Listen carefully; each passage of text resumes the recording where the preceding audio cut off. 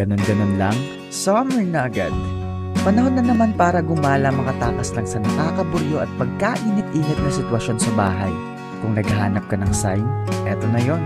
Oras na para pumunta sa beach, mag-swimming, at enjoyin ng summer lalo na't pwedeng-pwede na ulit gumala with less restrictions. Pero, may nahanap ka na bang lugar na pwedeng puntahan? Kung wala pa, eh meron akong suggestion na panigurado ay swak sa iyong summer bucket list. Beach, swimming pool, at overlooking view sa pagkagandang isla ng Boracay. Ready ka na bang mag-tour dito sa Palhi Resort sa Aklan? Matatagpuan ng Palhi Resort sa barangay na Asug sa bayan ng Malay. Pamilyar ba? Oo. Nai-feature na ni Aklanong Gala ang lugar ng Naasug. Pero this time, kinailangan kong bumalik kasi hindi pwedeng hindi ko ma-share sa inyo ang ganda nitong Palhi Resort. Kung biyahe ang pag-uusapan, isang oras kalahati ang layo nito kung magagaling ka sa Kalibo at nasa 15 to 20 minutes naman ang layo if you're coming from Boracay. Lapit lang 'di ba? Along the road lang din itong resort kaya kung accessibility ang worry mo, wala kang magiging problema dito. Super sulit nito kung day tour ang hanap mo na sa halagang 250 pesos lang ay ma-experience mo na ang mala Santorini vibes na ambience. May mga rooms ba sila dito? Oo naman. Kung balak mag-overnight, nag-o-offer ang Palhi Resort ng varieties of room na pwede mong pagstayan. Fun room, good for 2 starts at 1,490 pesos. Standard room naman starts at 2,190 pesos. At family room good for 4 starts at 3,990 pesos. Malapit lang ang mga rooms na to sa front beach kaya makakapagdagat ka agad kung yan ang gusto mo. Pero kung hanap ay upgraded experience, dito sa chalet room kung saan kami nagstay, super lawak ng kwarto at hindi matawarang view ang ma-XP mo. Bukod sa usual amenities like bed and CR, meron itong mini sala at pagkalawak na kusina kung saan pwede kang magluto. May ihawan sa labas at nasa baba lang din ito ang swimming pool kaya super ideal para sa magbabarkadang gustong mag-enjoy.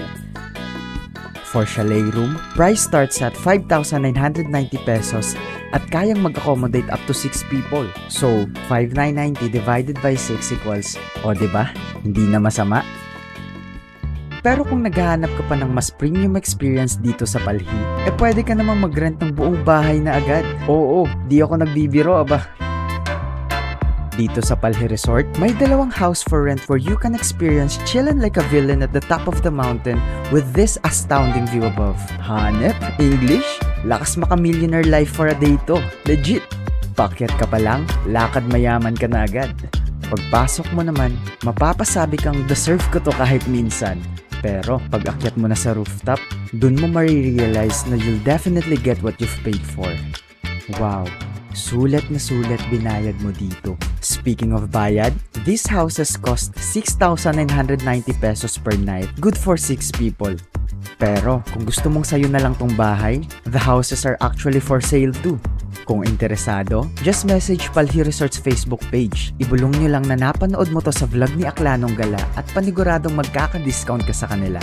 At bago ko makalimutan, lahat ng rooms na ino-offer dito sa Pali Resort ay may kasamang free breakfast at pool access. Dagdag ko rin na meron sila ditong function hall for events at billiards lounge na pwede nyong ma-enjoy. Ano, ganda dito sa Palhi Resort no? Swak lahat saan mang sulok dito. Gaya nga ng sabi ko kanina, pwedeng pwede tong idagdag sa summer bucket list mo. I suggest na sa Palhi Resort ka magstay, tapos side trip ka na rin sa iba pang lugar dito sa Naasog since nandito ka na rin naman. Meron akong separate video about it at highly recommended na panoorin mo para magka-idea ka what Naasog in Malay has to offer. Maraming magaganda dito sa Naasog.